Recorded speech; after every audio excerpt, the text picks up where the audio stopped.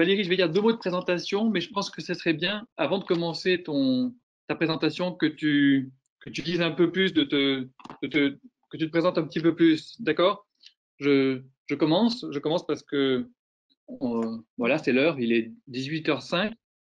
Euh, je voulais euh, d'abord remercier beaucoup, te remercier beaucoup Valérie et, et, je disais la dernière fois quand Corinne est venue, déjà toutes le, les remerciements que, nous avions à, la faculté de Montpellier pour la présence euh, de ces deux collègues de, Paris qui interviennent, euh, l'une sur le Cantique des Cantiques et l'Ancien Testament et donc Valérie sur le thème donc sexualité et genre dans le monde du Nouveau Testament.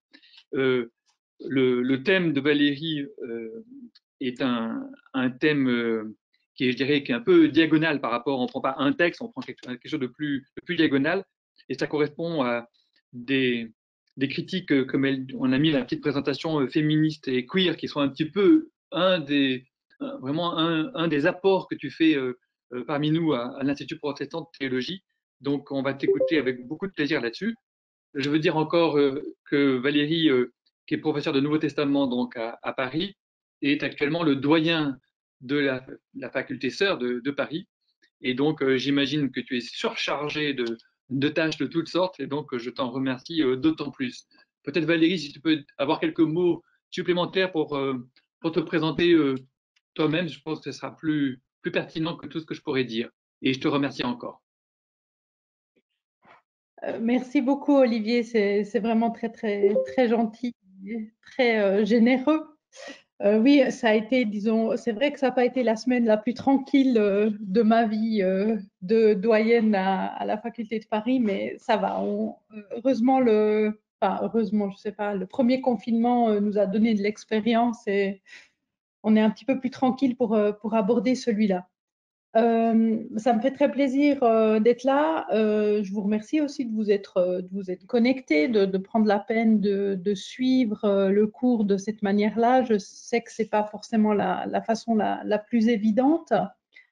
Je vais essayer ce soir de, travailler avec vous effectivement sur un, certain nombre de textes. Pas, j'ai pas pris un seul texte avec l'idée aussi un petit peu, je pense que ça c'est quelque chose qui est important dans mon, dans mon enseignement à la faculté, d'essayer de mettre en avant la diversité de ce qu'on retrouve dans, dans, le Nouveau Testament. Et donc, euh, de pas, euh, on, a eu tendance, je dirais, souvent à, présenter un petit peu euh, une, seule perspective globale sur le Nouveau Testament et euh, je crois que hum, c'est important d'essayer de montrer à quel point les, ce qu'on qu trouve, les textes qu'on trouve dans le Nouveau Testament sont des textes en fait qui sont variés et, et divers et qui, qui, ne représentent pas les mêmes, euh, les mêmes perspectives. Donc on va faire un petit peu un, un panorama. Euh, je verrai, enfin j'espère, on verra à quel point on arrive à, à traiter euh, tous les textes que, que dont j'ai prévu euh, de parler. Euh, mais on, va commencer et puis euh, on, verra où, ça nous mène. Euh, voilà, je crois que je crois que j'ai pas. Oui, si, je voulais encore dire. En fait, c'est clair que si j'avais vraiment voulu être encore plus exhaustive, on aurait pu regarder aussi la littérature qui date, si vous voulez, de la même époque que le Nouveau Testament et qui n'a pas été inclus dans le canon. Euh, mais qui fait vraiment partie de, de ce qu'il faudrait euh, garder à l'esprit pour comprendre euh, ce que le Nouveau Testament fait. Parce que si vous voulez, nous, on a, dans le christianisme, on a l'habitude de, de, voir le, Nouveau Testament comme un livre un peu à part, mais en fait, c'est un livre qui s'inscrit dans la production juive de l'époque et qui est beaucoup moins singulier dans la, dans la production juive de l'époque que, que, ce que, que l'illusion, si vous voulez, qu'on a, parce qu'on a ce, livre qui est édité dans un petit volume euh, indépendant. Je n'ai pas fait ça ce soir parce que ben, on a deux heures et puis on peut que faire un certain nombre de choses, mais on aurait effectivement aussi euh, pu aller voir ce qui se dit euh, du, couple, du mariage, de, la sexualité dans les textes euh, juifs de la même époque. Euh, quand Olivier m'a demandé euh, de, participer euh, à, ce, cours public, ma, ma première réaction, c'était un petit peu de lui dire, mais écoute, sur le couple, je ne peux pas te dire grand-chose dans le Nouveau Testament. parce que le, concept n'apparaît même pas en fait. on n'a pas de mot pour couple dans le Nouveau Testament. Alors en grec moderne, j'ai vérifié ça avec ma collègue qui fait le, qui fait le grec à la faculté de Paris et qui est, qui est grec d'origine, Anna Lampadaridi. Elle m'a dit, ouais, le mot pour, couple, c'est tsevgari, euh, en grec moderne, mais en, grec ancien, ce, mot n'existe pas. Alors, si vous avez fait un tout, petit peu de grec, ou même si vous n'en avez pas fait, je vous le dis maintenant, le, mot euh, contient la racine euh, hein, euh, dans, le, mot ici. Et euh, c'est en fait le mot qui est utilisé dans le Nouveau Testament pour parler de l'instrument quand on quand on met deux animaux ensemble pour tirer quelque chose, on, parle d'un tsoigos. Hein. C'est une équipe, c'est une paire, c'est aussi évidemment ce qui donne le joug. Et en fait, c'est lié à un verbe grec qui est tsoignumi, euh, connecter, joindre. Et on va aussi utiliser ce, verbe, pas très souvent, mais il est aussi utilisé pour parler euh, de l'union maritale si on regarde dans le Nouveau Testament, le mot tsoigos, euh, il est utilisé seulement deux fois dans le Nouveau Testament, pas du tout en lien avec euh, l'idée du mariage ou l'idée du couple, mais chaque fois en lien avec une paire d'animaux. Alors, je reviens à mes histoires de joug, de paire. Donc, euh, deux fois le mot utilisé, une fois ici dans Luc 22, tout au début de l'évangile, c'est pour parler euh, du moment où euh, Marie et Joseph hein, vont présenter euh, l'enfant Jésus au temple au moment où les jours de purification sont terminés. Et en accord avec la loi mosaïque, ils offrent une paire, un tseugos, de tourterelles pour la naissance de l'enfant. Deuxième moment où c'est utilisé, on, aura l'occasion de reparler très très brièvement de ce passage. C'est en Luc 14. Euh, c'est cette histoire, euh, la parabole hein, de, l'homme qui donne un grand dîner. Il invite beaucoup beaucoup de gens. Ils ont toute une sorte d'excuses, dont un qui dit euh, j'ai acheté cinq paires de bœufs et je vais les examiner. Donc là aussi, le mot pour la paire le, groupe de, de bœufs, c'est euh, Donc, on n'est pas du tout euh, dans le registre euh, du, mariage. Et je me disais aussi, par exemple, par rapport à, l'Ancien Testament, qu'on n'a pas vraiment de, couple fondateur dans le Nouveau Testament de la même manière que vous avez évidemment bah, déjà Adam et Ève, hein, mais Sarah et Abraham, qui sont vraiment des, couples qui jouent un rôle important euh, dans l'Ancien Testament. Dans le Nouveau Testament, on n'a pas du tout euh, ce, genre de, couple. Alors un petit peu peut-être Marie et Joseph, mais enfin c'est vraiment très très limité hein, parce que vous avez quand même toujours l'idée de la, conception virginale de Marie, donc le couple Marie-Joseph ne joue pas tellement un grand rôle. Euh, dans la tradition après le Nouveau Testament, vous allez évidemment avoir alors là un couple qui pourrait être intéressant à analyser, mais on n'aura pas le temps de le faire ce soir. C'est euh, le couple de Jésus et de Marie-Madeleine hein, qui euh, reçoit une histoire dans la tradition, mais qui n'est pas présent dans le Nouveau Testament de, cette façon-là. On, ne présente pas Jésus et, et Marie-Madeleine comme un, comme, une paire, si vous voulez, particulière. Et donc, force est de constater, en fait, que dans le Nouveau Testament, la, plus grande part euh, du Nouveau Testament, c'est une histoire d'hommes qui sont présentés euh, comme célibataires. On n'a vraiment pas, euh, on a quelques femmes qui sont présentées, mais principalement, c'est quand même vraiment des hommes célibataires qui sont au cœur de l'histoire là, je pense qu'il y a un contraste en fait assez intéressant euh, avec l'Ancien Testament. Alors, comme euh, je peux quand même pas m'arrêter euh, de parler à 18h17 du, couple dans le Nouveau Testament, on a réfléchi un peu à une autre porte d'entrée dans la question. Et une autre porte d'entrée dans la question du couple, c'est d'étudier la question du mariage et de la façon dont le mariage articule le rapport entre les hommes euh, et les femmes dans le Nouveau Testament. Donc c'est surtout de ça en fait qu'on va parler ce soir, euh, la question du mariage. Euh, on a quelques mots qui sont utilisés de manière un peu plus fréquente dans les textes du Nouveau Testament que le mot tsoigos. Et le vocabulaire autour du mariage s'articule autour de la racine, d'une racine gamos, la racine gamos, ça fait vraiment référence, si vous voulez, à la cérémonie euh, du mariage, hein, le, fait, l'événement même du mariage, ou le fait d'être marié, ou encore la salle où on pouvait avoir euh, la cérémonie de mariage. Alors, par rapport à ce vocabulaire gamos, on a quatre mots qu'on peut un tout petit peu, euh, qui, sont identifiés, si vous voulez, identifiables euh, à partir de cette racine gamos. Le premier, c'est, euh, ah, j'ai même fait une petite faute, je peux la corriger en direct, c'est gamete, c'est une femme qui a le statut d'être mariée, c'est l'épouse. Ce mot-là, il n'apparaît pas dans le Nouveau Testament, mais il existe en grec ancien. Et puis alors, ces deux verbes qui vont nous intéresser plus particulièrement, euh, les verbes gameo et gamizo, qui veulent dire plus ou moins la même chose, épouser quelqu'un, prendre une personne en mariage, euh, aussi donner en mariage. Et ces deux verbes-là euh, sont utilisés, alors ce pas les verbes les plus utilisés dans le Nouveau Testament, mais disons ils sont utilisés relativement un, certain nombre de fois dans le Nouveau Testament. Et c'est sûr, gamisco est utilisé le, troisième verbe qui veut aussi dire donner en mariage, est utilisé, je crois, seulement euh, une seule fois dans le Nouveau Testament. Je ne vais, pas en parler, euh, non, deux fois. Euh, je ne vais pas en parler ce soir.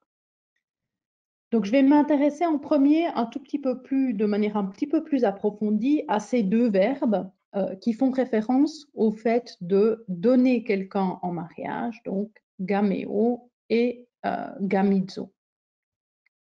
Le sens principal, donc je viens de vous le dire, hein, c'est marier, prendre une personne en mariage. Et ce qui est peut-être assez intéressant euh, de voir par rapport à cet emploi général, c'est que ces verbes-là, de manière générale, dans la littérature ancienne, pas seulement dans le Nouveau Testament, mais vraiment dans la littérature ancienne, euh, concernent beaucoup plus souvent un homme qui va prendre une femme comme épouse que l'inverse. Hein. C'est même le premier sens, en fait, pour, le, pour la racine gamizo, euh, c'est amener, c'est même le, premier sens, c'est même amener une femme à être mariée. Donc vraiment faciliter le processus pour euh, assurer le mariage d'une femme, donner une femme en mariage. Euh, donc ça, c'est le, c'est il me semble que c'est une observation importante. Hein. Le, mariage concerne d'abord le choix euh, d'un homme de trouver euh, une épouse, une femme. Et donc, du coup, évidemment, on rencontre pas tellement souvent l'usage euh, qu'on a en, langue française, se marier ou même être marié, ou la, décision, si vous voulez, commune d'entrer dans une union.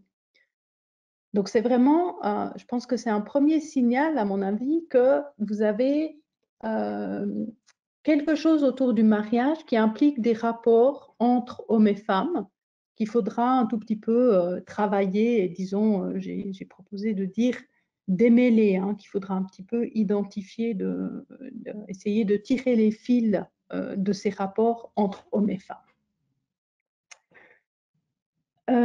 donc, si je veux le dire vraiment très simplement, dans le mariage ancien, c'est beaucoup plus souvent l'homme qui prend une femme plutôt que deux personnes qui décideraient de sur la base d'une décision commune, hein, par exemple, ou une femme qui choisirait un mari. Donc, on va devoir, euh, je pense que ce sera intéressant de discuter ce rapport entre, entre hommes et femmes. Ça, c'était des, des, remarques euh, préliminaires assez générales hein, sur simplement quels mots on utilise pour qualifier euh, les relations liées au couple dans le Nouveau Testament je vous, dis peut-être, c'est vrai, j'aurais peut-être dû le dire tout au début, mais je me suis dit que je voulais articuler les choses de, cette manière-là. Donc, partir d'un emploi euh, assez général, simplement regarder le vocabulaire, regarder ensuite, d'abord dans les évangiles, comment est-ce que la question du mariage est travaillée, et puis ensuite passer en fait à un chapitre dans la correspondance paulinienne, qui est en Corinthiens 7, hein, qui est le, chapitre, je dirais, où la question du mariage, ou disons en tout cas des relations sexuelles, est abordée le plus explicitement. Et puis, euh, selon où, comment se passe la, soirée, où on en est, euh, euh, on regardera aussi, on fera un petit excursus du côté de l'Apocalypse. OK? Donc, le mariage est un sujet peu discuté dans les évangiles. on peut identifier, j'irais, six contextes dans lesquels on parle du mariage. Premier contexte, c'est une mention du mariage d'Hérode avec Hérodiade, hein, la femme de Philippe, qui est le frère euh, d'Hérode. Je me rends compte que ma formulation est un peu ambiguë. Euh, c'est pas le frère d'Hérodiade. Hein. Euh, Philippe, c'est le frère d'Hérode. Donc Hérode euh, a pris Hérodiade, la femme de son frère, comme, comme épouse. C'est en Marc 6, et c'est ce qui va amener hein, euh, la, décapitation de, euh, de Jean-Baptiste. Mais ça nous dit encore pas grand-chose sur le mariage, si ce n'est qu'il était possible pour un, personnage haut placé euh, de contracter un, mariage avec, une, autre femme qui était même possiblement enfin, déjà mariée. Ensuite, et ça, ça va être un contexte qui va nous intéresser un tout petit peu plus longuement, on a les fameuses controverses sur le divorce. Euh, elles sont présentées, alors vous avez les, deux euh, passages dans Matthieu 5 et dans Luc 16, hein, qui sont les, passages qui correspondent au serment sur la montagne dans Matthieu 5 et la reprise en Luc 16, autour du commandement euh, de l'adultère. Et alors, la controverse sur le divorce, qui est un texte qu'on va travailler un tout petit peu plus euh, autour de Marc 10, hein, de savoir si c'est euh, possible de, à vrai dire, pas vraiment divorcer, mais répudier sa femme. Ensuite, le, troisième contexte dans lequel on parle du mariage, c'est un, contexte qui s'intéresse à la question de la résurrection. C'est aussi une controverse, Ici, c'est les Sadducéens, donc les, responsables du temple, qui viennent euh, parler à Jésus et euh, qui lui posent la question de savoir, euh, OK, c'est bien joli la résurrection, hein, mais qu'est-ce qu'on fait s'il y a eu une femme qui a eu sept maris avec qui elle sera mariée au moment de la résurrection? Les, les Sadducéens, de manière fameuse, c'est un groupe euh, qui, euh, dans, le, judaïsme de cette période-là, ne, croit pas, hein, ne, considère pas que la, résurrection est quelque chose qui, existe. On reviendra aussi sur ce, ce cas-là. Euh, quatrième contexte, c'est simplement une mention que avant le déluge, il y avait les, gens euh, se, mariaient, euh, buvaient, mangeaient, donc n'avaient aucune conscience que la catastrophe était imminente. Euh, et puis, le cinquième contexte, on, y reviendra aussi un tout petit peu, c'est ce que j'ai appelé la parabole de la vigilance. Vous le connaissez peut-être probablement plutôt ce texte les, la, parabole des vierges ça, avisées et des vierges folles. Hein c'est les dix vierges qui attendent euh, la venue du, marié et qui doivent se préparer euh, à la venue du marié en ayant suffisamment euh, d'huile dans leur lampe. Et puis finalement, il y a aussi un contexte où on, fait simplement, en fait, on, utilise les fêtes de mariage comme en, décor, si vous voulez.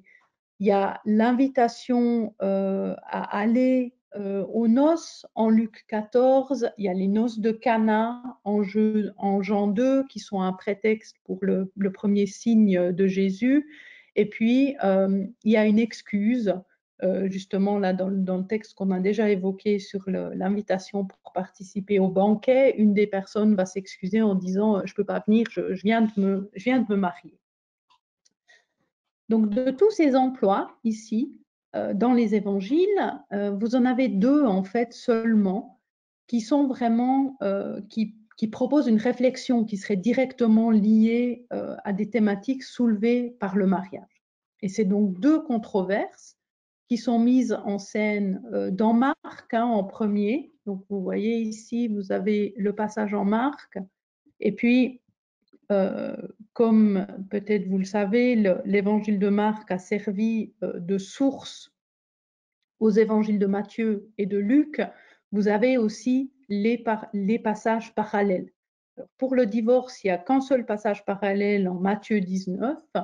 Et puis pour la résurrection, vous avez un passage parallèle en Matthieu et en Luc. Donc en fait, là, on a l'impression qu'on a cinq passages qui discutent de ça, mais à vrai dire, on n'en a que deux. C'est les deux passages en Marc avec les parallèles euh, chez Matthieu et chez Luc. Et comme je vous le disais, la première controverse sur le divorce, ça met en scène les pharisiens. Et puis, euh, la deuxième euh, controverse met en scène les sadducéens. Les sadducéens, c'était les, responsables du temple. On va revenir à ces deux textes-là. Euh, on va en discuter un tout petit peu de manière un petit peu plus détaillée dans, une, minute. ce qui me semblait important de juste faire remarquer sur les quatre autres contextes, sur lesquels je ne vais, je vais pas revenir par ailleurs, c'est que c'est vraiment euh, des contextes qui montrent des éléments tout à fait traditionnels à propos du mariage. On a un homme qui prend une femme, la femme n'a pas de décision à prendre, elle n'a pas d'avis à donner. Hein. On le voit, je dirais presque le plus clairement euh, dans la parabole euh, de la vigilance ou, des verges folles, hein, Matthieu 25, 1 à 13 où euh, les jeunes filles réunies, elle, est, un petit peu euh, incohérente, cette parabole. Vous avez dix jeunes filles qui sont réunies, qui attendent toutes le marié. On ne sait pas très bien si euh, il a déjà fait son, choix ou bien si on a un peu une version ancienne du, du bachelor, hein, où il doit choisir l'élu parmi un certain nombre de jeunes filles. Mais en tout cas, le texte n'a même pas besoin de préciser que c'est le marié qui va choisir une des jeunes filles pour son mariage et que euh, les jeunes filles n'ont pas d'avis à, donner sur ce choix. Au contraire, euh, le texte présuppose que n'importe quelle euh, jeune fille qui serait choisie serait heureuse d'être choisie. Donc on n'est pas du tout dans un contexte, si vous voulez, de, réciprocité. Hein. C'est vraiment l'homme qui contrôle le processus. Euh, donc, si on revient sur les textes qui, nous, qui, travaillent un petit peu plus cette problématique du mariage et qui vont, vont peut-être nous offrir un petit peu plus d'éléments sur qu'est-ce qu'on comprenait par le mariage, qu'est-ce que ça voulait dire euh, d'être marié, qu'est-ce que ça impliquait d'être marié dans l'Antiquité, on va euh, revenir sur ces deux textes-là autour de la controverse sur la résurrection et sur la répudiation. Donc, le premier texte, sur la résurrection, je vous l'expliquais, hein, c'est euh, dans Marc 12 et puis avec les parallèles dans les euh, deux synoptiques, hein, le Matthieu et Luc. Je vous le lis peut-être une première fois dans la, version de Marc et puis on s'arrêtera sur, quelques éléments. On ne va pas travailler tous les éléments, mais quelques-uns. Des Sadducéens, donc je suis dans la, la version de Marc ici hein, au milieu du tableau. Des Sadducéens qui disent qu'il n'y a pas de résurrection viennent l'interroger. Maître, voici ce que Moïse nous a prescrit.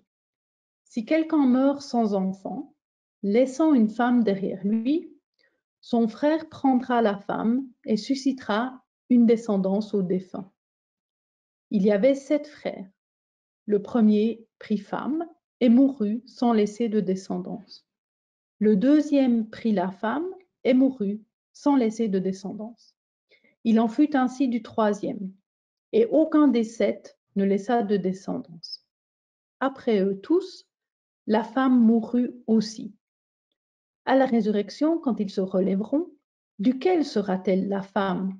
Car les sept l'ont eue pour femme. Jésus leur dit, voilà pourquoi vous vous égarez. Vous ne comprenez ni les Écritures ni la puissance de Dieu. En effet, quand on se relève d'entre les morts, on ne prend ni femme ni mari, mais on est comme des anges dans les cieux. quant au fait que les morts se réveillent, n'avez-vous pas lu dans le livre de Moïse ce que Dieu lui a dit près du buisson? C'est moi le Dieu d'Abraham, le Dieu d'Isaac et le Dieu de Jacob. Il n'est pas le Dieu des morts, mais des, vivants. Vous vous égarez complètement. OK. Donc,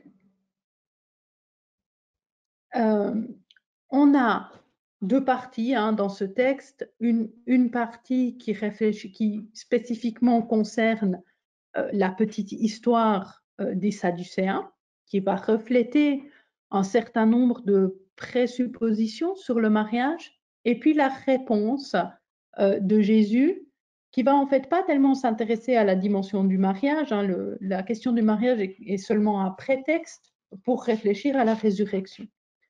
Alors, dans l'histoire de, des Sadducéens, je pense qu'il y a quelques éléments qui sont intéressants euh, à, reprendre et qui sont repris aussi. Il n'y a pas beaucoup de différence en fait dans ce texte entre les versions euh, de Matthieu et Luc et celle de Marc. Donc, on peut assez tranquillement travailler euh, sur la version de, Marc.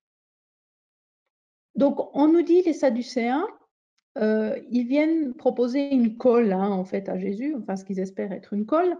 Euh, si quelqu'un meurt sans enfant, laissant une femme derrière lui, son frère prendra la femme et suscitera une descendance au défunt. C'est le, c'est le point de départ, référence à ce que Moïse euh, nous a prescrit. Donc, dans les, dans les évangiles, euh, quand on parle de ce que Moïse nous a prescrit, ça veut dire qu'on fait référence à une des lois qu'on trouve dans la Torah, et cette loi-là, elle se trouve en fait dans Deutéronome 25, 5 à 10, hein, avec l'idée que si l'homme meurt sans qu'il ait pu avoir un enfant, mais qu'il a justement une femme qui lui survit, cette femme va devenir la femme de son frère euh, pour permettre que l'homme mort ait une descendance. Et là, euh, ça se lie, si vous voulez, à une, manière de comprendre la mort dans le judaïsme ancien. Euh,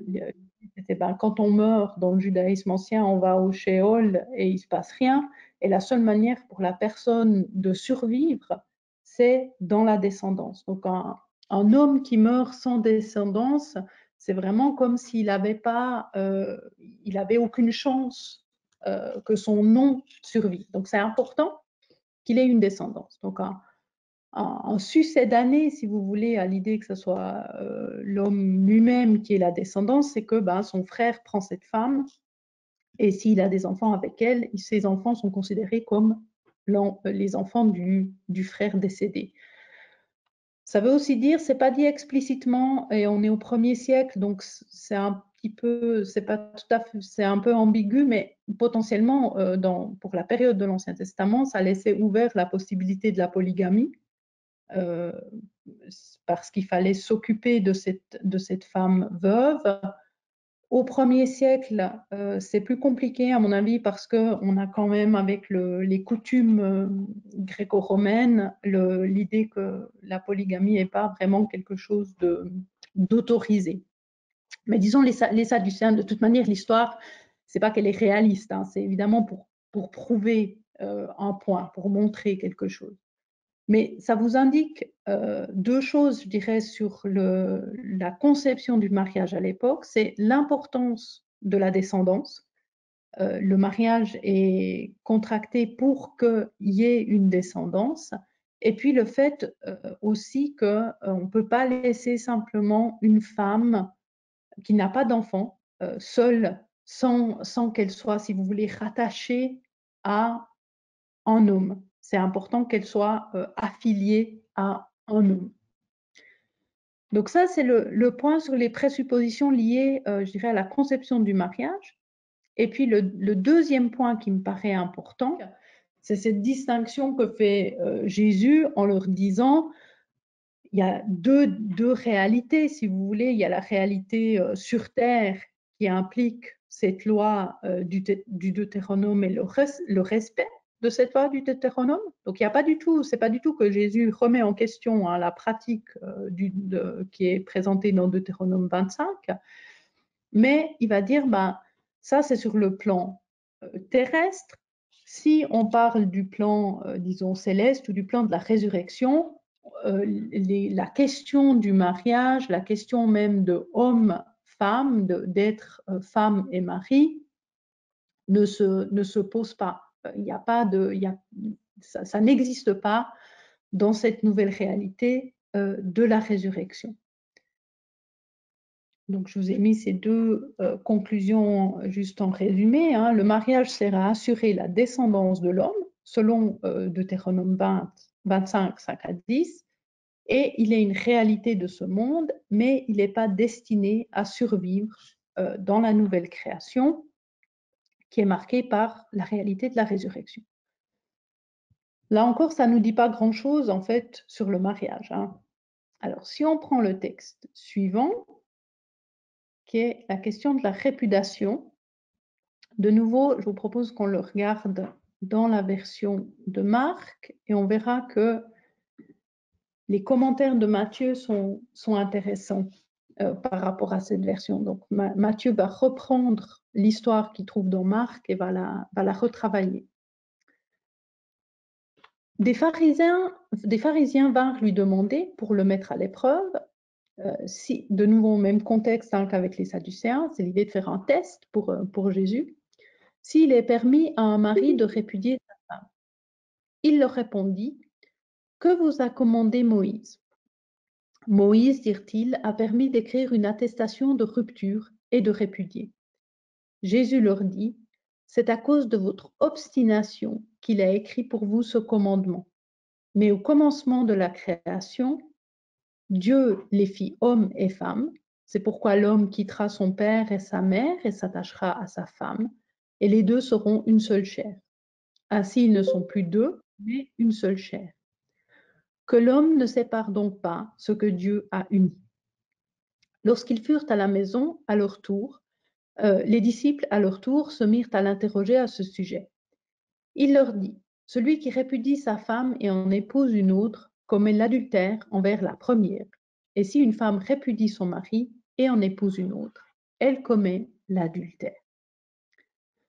Là aussi, euh, de nouveau une controverse autour de la question euh, de la loi mosaïque. Alors là, on a une position un peu plus dure hein, en fait de, Jésus par rapport aux prescriptions de la loi mosaïque. Dans l'épisode précédent, il ne remet pas du tout en cause ce qui est écrit dans, Deutéronome. Ici, euh, la loi, c'est justement Deutéronome 24 en à 4, hein, je vous l'ai mis ici lorsqu'un homme a pris et épousé une femme et que celle-ci n'a pas trouvé grâce à ses yeux, parce qu'il a trouvé en elle quelque chose d'inconvenant, il écrira pour elle une attestation de rupture et après la lui avoir remise, il la renverra de sa maison. Donc là, on a un exemple. Euh, la loi de Deutéronome est assez euh, sévère en fait pour la femme. Euh, quelque chose d'inconvenant, il faudrait voir ce que ça recouvre, hein, mais c'est quand même relativement vague et c'est quelque chose dans, dans les yeux évidemment du mari. Et en plus, même si elle arrive euh, à, se, retrouver un époux, ce qui, serait déjà assez compliqué quand on a été euh, répudié une première fois, euh, et qu'elle perd cet époux ou qu'elle est, est renvoyée de ce deuxième époux, elle ne peut pas retourner chez le premier époux. Hein. Elle a été, on dit, elle a été souillée. donc on est dans, le contexte d'une loi assez dure en fait à l'égard euh, de, la, de la femme. Hein. Euh, elle, a, très peu euh, de moyens de, se défendre contre une répudiation. Donc il y a une interprétation de la parole de Jésus qui propose de dire que c'est peut-être une, une, façon de protéger en fait la femme de, dire qu'on peut pas, euh, qu'on peut absolument pas répudier euh, une épouse pour n'importe quelle, raison. Ce qui est intéressant, c'est que l'évangile de, de Matthieu va un tout petit peu atténuer cette euh, radicalité de Jésus dans l'évangile de Marc. La question des pharisiens est déjà un tout petit peu différente. Hein. Dans Marc, il demande est-ce qu'il est permis à un mari de répudier sa femme? Point. Matthieu va dire, est-il permis à un homme de répudier sa femme?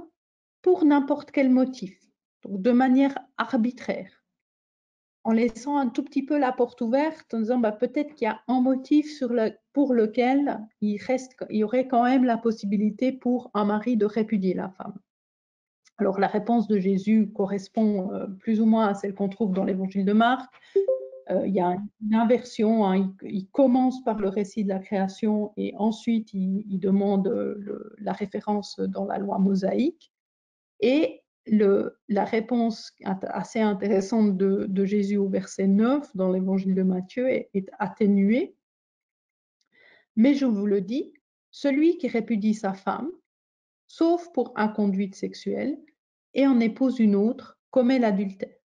Donc on ne peut pas répudier sa femme, ou alors on se trouve dans une situation d'adultère, ce que évidemment le, bon juif de l'époque aimerait éviter, sauf le Jésus matin euh, introduit une, une, atténuation, hein, sauf pour inconduite sexuelle. À ce moment-là, oui, là, dans ce cas-là, ça c'est quand même assez inacceptable euh, pour qu'on puisse pas tolérer euh, ça et on a le droit de renvoyer euh, sa femme dans ce cas-là.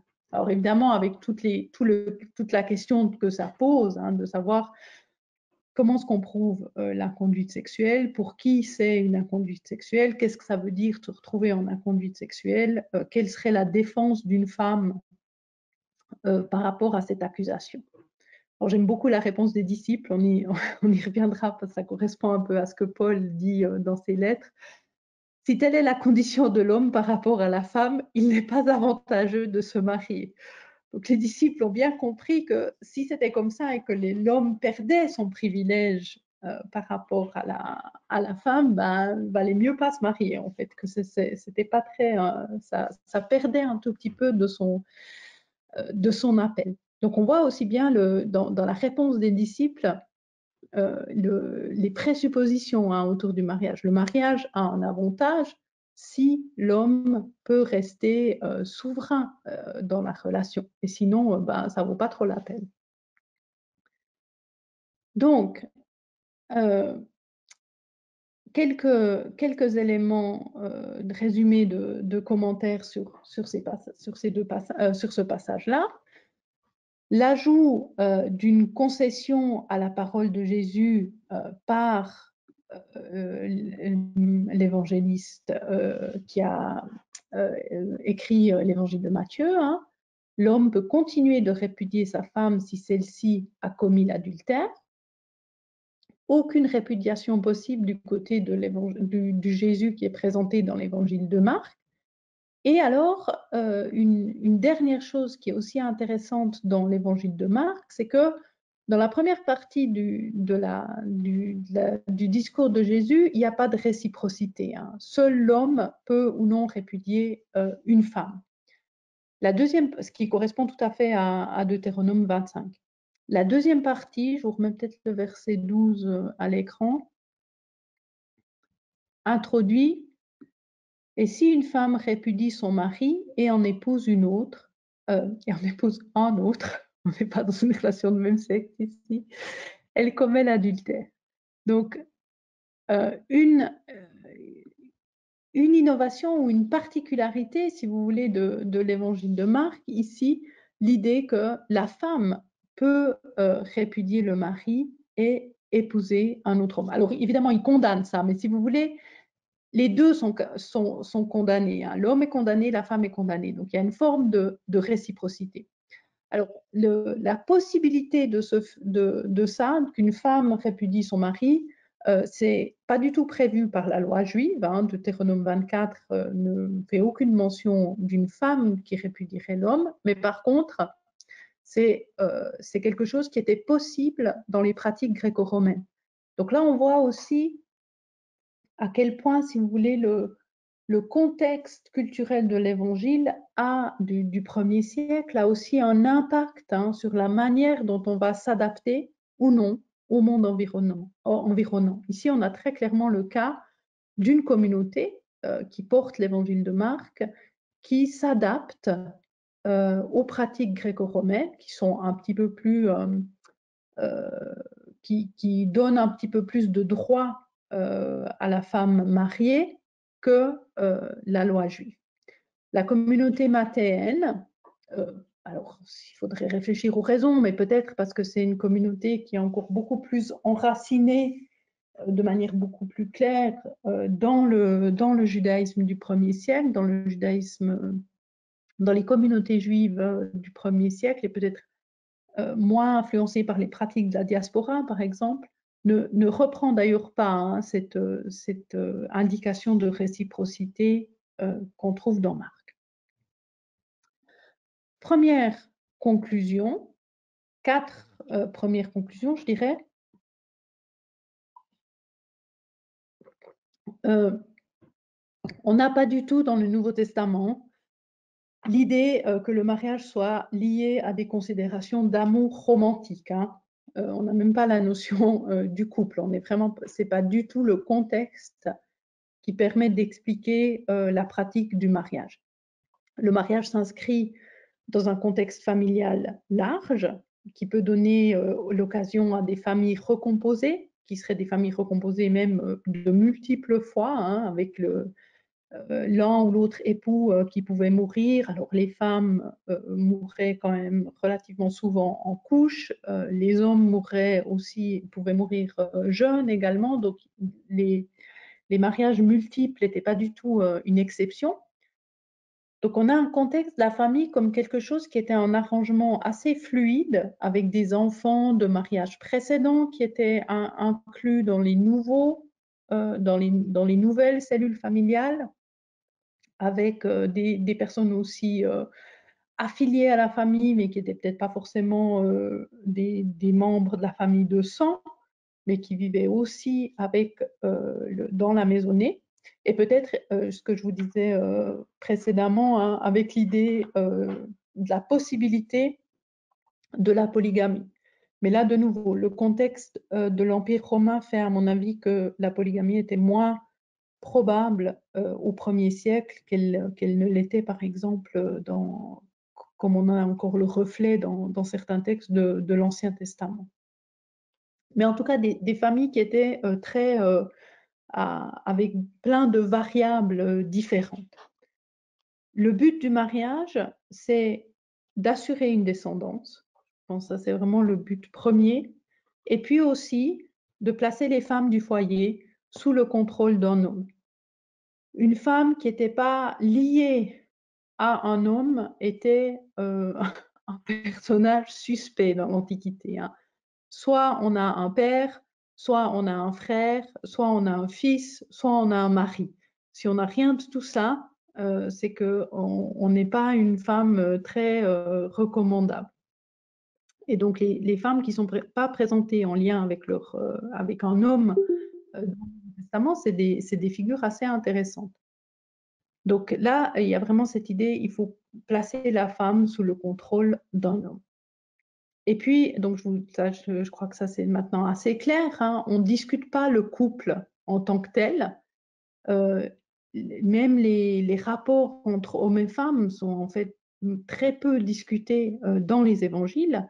Et en fait, ces dynamiques du, rapport homme et femme euh, sont abordées seulement euh, explicitement dans le Nouveau Testament dans deux textes, qui est le chapitre 7 euh, de la première épître aux Corinthiens, et c'est aussi l'objet de passablement de discussion dans la première épître à Timothée. On, on verra qu'il y a aussi une petite mention dans Hébreu 13. On pourrait évidemment ajouter à ces textes-là, en Corinthiens 7, à la première épître euh, à Timothée, ce qu'on appelle les codes de maisonnée. Je vous mets peut-être juste dans le, dans le chat pour que je ne les voulais pas mis. Code de maisonnée qu'on retrouve dans Colossiens ou dans Éphésiens euh, qui permettent d'organiser la vie de la maison. Euh, j'ai décidé de ne pas en parler ici parce que ben, fallait que je, je limite le, le choix de, de, ce dont je pouvais parler. Donc, les mariages et euh, dynamique de genre euh, dans 1 Corinthiens 7 et 1 Timothée. Donc, on, parle du mariage euh, de manière assez directe hein, en, Corinthiens 7. Alors, on fait un petit peu de dans le temps, parce que euh, avec les évangiles, on était dans la deuxième partie euh, du premier siècle, hein, dans les années 70. Et là, on est avec un Corinthien dans les années 50. donc, on est un petit peu avant, une vingtaine d'années avant les évangiles. Et dans 1 Corinthiens 7, Paul répond à une question de la communauté de, Corinthe. Et vous allez voir que, en fait, la discussion euh, qui évoque la question du mariage concerne en fait surtout l'acte sexuel et va inclure quelques remarques euh, sur le mariage. Hmm. Ensuite, en intimité, là on fait un saut en avant dans le temps. On est vraiment au tournant entre le premier siècle et le deuxième, probablement en 100. Euh, la discussion va se moraliser beaucoup plus et le mariage va devenir vraiment un espace pour contrôler la place des femmes dans les communautés. Et on, assiste aussi en même temps, en fait, je dirais, par rapport à cette moralisation, à une sacralisation du mariage. Ça va devenir quelque chose qu'il faut beaucoup plus, si vous voulez, euh, euh, respecter euh, euh, et, garder pur. Donc il y a une espèce de trajectoire entre en Corinthiens 7, où on discute surtout, à vrai dire, de la sexualité, et en Timothée, où on va effectivement beaucoup plus alors insister sur l'importance du mariage. C'est un petit peu anachronique de parler du mariage en tant qu'institution, mais enfin, ça, en tant qu'institution chrétienne, mais c'est en train, ça ouvre la porte à cela. je vous propose qu'on prenne en premier un, Corinthiens 7. C'est un texte assez long. Euh, je vais le lire, je pense quand même une, fois à haute voix. Euh, j'ai essayé de vous l'articuler en, plusieurs parties pour essayer de bien le, découper. Donc, et peut-être que je vais, je vais un petit peu le commenter au fur et à mesure. Donc, pour ce qui concerne ce que vous avez écrit, il est bien pour l'homme de ne pas toucher la femme. Donc là, on a euh, l'introduction de la problématique hein, qui revient sur une question des Corinthiens. Clairement, euh, c'est eux qui ont euh, posé une question à Paul. ils ont posé une question en lui envoyant une lettre. Euh, les, on était les exégètes sont tout contents de ce genre de mention parce que ça vous montre qu'il bah, y avait des correspondances entre Paul et les Corinthiens. On n'a pas retrouvé les lettres des Corinthiens, mais clairement, ils écrivaient aussi à l'apôtre. Et euh, la thématique est assez bien identifiée euh, dès le départ. Il est bien pour l'homme de ne pas toucher deux femmes. Donc la question qui va préoccuper le chapitre euh, du 7 euh, de l'Épître aux, Corinthiens, c'est la question euh, des relations sexuelles, en fait, la question de la chasteté, si vous voulez. Et en particulier, la manière dont, en tout cas, c'est posé ici au verset 1, d'abord l'homme par rapport à la femme. Donc le point de départ, c'est ça. C'est mieux de pratiquer la chasteté. Hein. c'est mieux de, de s'abstenir de relations sexuelles première euh, correction, si vous voulez, à partir euh, sur la base de ce constat de départ. Toutefois, à cause des risques d'inconduite sexuelle, que chacun ait sa femme, que chacune ait son mari, que le mari rende à sa femme ce qu'il lui doit, de même la femme à son mari. Ce n'est pas la femme qui a autorité sur son propre corps, c'est son mari. De même, ce n'est pas le mari qui a autorité sur son propre corps, c'est sa femme. Ne vous privez pas l'un de l'autre, sinon pour un temps et d'un commun accord, afin de vous consacrer à la prière. Puis, reprenez votre vie conjugale, de peur que le Satan vous mette à l'épreuve, parce que vous ne sauriez pas vous maîtriser. Je dis cela comme une concession, non comme un ordre. Donc on a en premier euh, si vous voulez, une première affirmation générale, en soi, c'est mieux de s'abstenir de relations sexuelles. Mais, parce que Paul est en pragmatique, mais pragmatique hein, en fait, globalement, il va dire, euh, globalement, parce que ça, c'est trop de, il y a trop de risques à cette situation d'abstinence, des risques d'inconduite sexuelle, eh ben, euh, c'est mieux d'autoriser les relations sexuelles dans un cadre bien contrôlé, qui est justement le cadre de la vie conjugale, hein. Donc, on accepte euh, les relations sexuelles pour éviter euh, quelque chose de pire, en fait. Hein. C'est mieux d'avoir des relations sexuelles dans un, cadre bien contrôlé de la vie conjugale plutôt que de se retrouver dans une situation euh, de mise à l'épreuve, de tentation. On peut éventuellement, pour un temps et d'un commun accord, afin de vous consacrer à la prière, pratiquer une période d'abstinence mais euh, ce n'est pas du tout ce que, Paul euh, envisage en fait euh, pour, le, commun des mortels, si vous voulez. De manière générale, il se dit ça va être trop compliqué pour les gens de, de respecter ça. donc, une première concession. Ensuite, je voudrais bien que tous soient comme moi. Donc, il revient quand même à sa conviction première, hein, qui est de dire ce serait mieux pour l'homme de ne pas toucher de femme. Hein. Je voudrais bien que tous soient comme moi. Mais chacun tient de Dieu un don particulier de la grâce, l'un d'une manière, l'autre d'une autre. À ceux qui ne sont pas mariés et aux veuves, je dis qu'il est bien pour eux de demeurer comme moi. Mais s'ils ne peuvent pas se maîtriser, qu'ils se marient, car il vaut mieux se marier que de brûler clarification, encore une fois, hein, on sent que le sujet est un peu euh, compliqué pour Paul. Il a une conviction personnelle. À ceux qui ne sont pas mariés aux veuves, je dis qu'il est bien pour eux de demeurer comme moi. Donc, il trouve que ce serait quand même vraiment mieux si on n'est déjà pas marié et, ou si on est veuve, euh, de pas se marier, de pas se remarier, de pas s'inscrire dans une relation. Ça, c'est ça. Je pense vraiment que ça, c'est sa conviction personnelle. C'est lui le choix qu'il ferait mais ils se rendent compte qu'en concession, s'ils ne peuvent pas se, se maîtriser, qu'ils se marient. Donc de nouveau là, cette idée que le mariage permet euh, une canalisation, si vous voulez, euh, de quelque chose qui est trop dangereux si c'est laissé euh, à l'extérieur du mariage. Et là, alors, il est tout à fait hein, dans, dans, cette conception du mariage comme ce qui permet de contrôler les pulsions sexuelles, etc.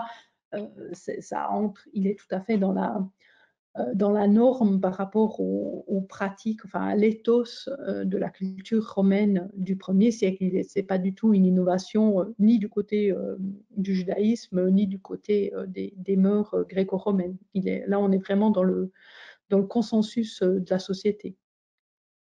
OK. Ensuite, euh, à partir de cette, première décision, on voit comme, il essaye d'articuler en fait son, sa préférence et le contexte euh, autour de lui, il va euh, s'adresser à plusieurs groupes. Il a donc il a déjà parlé de ceux qui ne sont pas mariés et des vieux, des veuves. Maintenant, il, il parle à ceux qui sont mariés. Ah, je ne sais plus dans quelle couleur je vais les mettre on va les mettre en rouge. J'adresse non pas moi, mais le Seigneur, cette injonction, que la femme ne se sépare pas de son mari, si elle s'est séparée, qu'elle demeure sans mari, ou qu'elle se réconcilie avec son mari, et que le mari n'abandonne pas sa femme. Donc là, on a un écho hein, de la discussion qu'on vient de, voir. Enfin, un écho, on ne peut pas tout à fait parler d'écho puisque les évangiles viennent après, euh, après Paul mais on a une trace en fait de la même tradition qui est attribuée à Jésus de critique euh, de la répudiation. Ce qui est intéressant dans, la manière dont Paul travaille cette tradition euh, de refus en fait de la, séparation, euh, il, va, commence par la situation de la femme. Hein. Et il va, il passe un petit peu plus de temps en fait sur le contexte de la femme qui pourrait se séparer de son mari.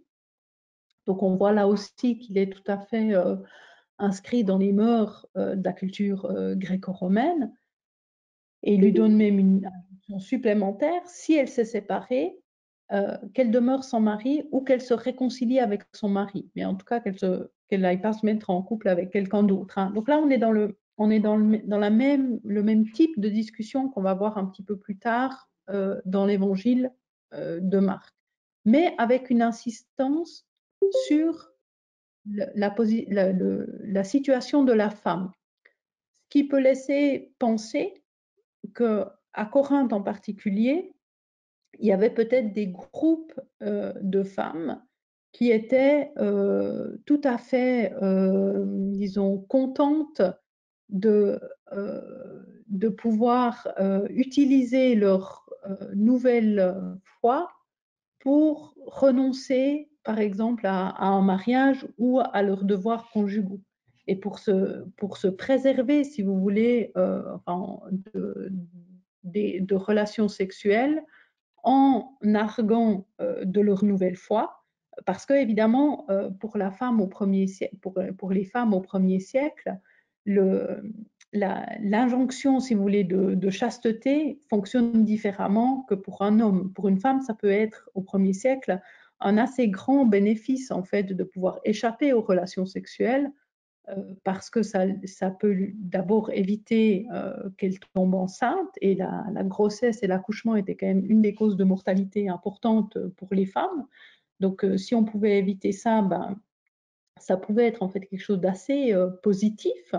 Et puis ben, aussi parce que, sans vouloir entrer dans des détails salaces, les rapports sexuels n'étaient peut-être pas forcément à l'avantage du plaisir féminin dans, l'Antiquité. Donc il n'y avait pas beaucoup de motivation, si vous voulez, euh, par, rapport à la conjugalité pour une femme euh, d'avoir euh, des rapports sexuels. Donc d'être dans un mouvement religieux qui permettait de renoncer potentiellement à la sexualité, ça pouvait être avantageux pour une femme, ou en tout cas ça pouvait être perçu de manière différente pour une femme et pour un homme.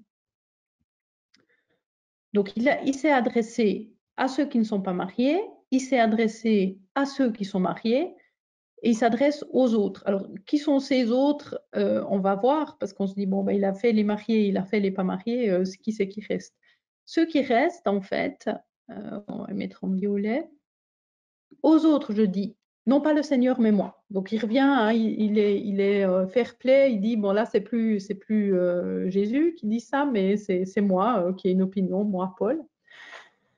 Si un frère a une femme non croyante et qu'elle consente à habiter avec lui, qu'il ne l'abandonne pas.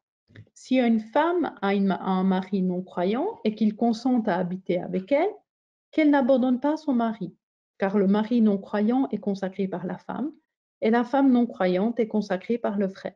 Autrement, vos enfants seraient impurs, or ils sont saints. Mais si le non-croyant qui veut se séparer, qu'il se sépare. Le frère ou la sœur n'est pas esclave en pareil cas. C'est dans la paix que Dieu vous a appelé. En effet, comment savoir, femme, si tu sauveras ton mari, ou bien comment savoir, mari, si tu sauveras ta femme? Donc les autres ici, c'est des couples mixtes en fait, des couples de euh, d'hommes et de femmes où un est croyant en Christ et l'autre ne l'est pas. Et pour ces couples euh, un petit peu particuliers, il, enjoint aussi ici, alors c'est lui-même hein, qui dit ça, euh, c'est des bonnes raisons que ce soit Paul, je veux dire, on n'a aucune trace que Jésus ait discuté de cette situation-là, hein, d'avoir un, un, couple avec une personne croyante et une personne non croyante. Il dit, ben, c'est mieux de rester ensemble parce que euh, a la possibilité euh, éventuellement de pouvoir euh, contribuer au salut de la personne avec qui on est et que la cellule familiale en fait est sanctifiée par la présence de la personne croyante. Et ce qui est aussi intéressant, c'est un c'est un des rares endroits dans le Nouveau Testament où on parle effectivement du frère ou de la sœur. Euh, globalement, dans le Nouveau Testament, euh, on parle généralement, euh, je vais devoir le mettre en rose, hein, du coup, comme il y a des filles. normalement, dans le Nouveau Testament, on parle toujours que des frères. Hein. c'est vraiment très, très rare qu'on mentionne les sœurs. Et ici, c'est un des cas où vraiment on a l'indication que Paul s'adresse aux frères et aux sœurs. Pour moi, c'est une indication supplémentaire dans la communauté de Corinthe, euh, il y avait vraiment un groupe de femmes qui jouaient un rôle particulièrement important. Et Paul reconnaît ce rôle important des femmes dans la, dans la communauté corinthienne. Alors, quelques conclusions aussi sur ce passage.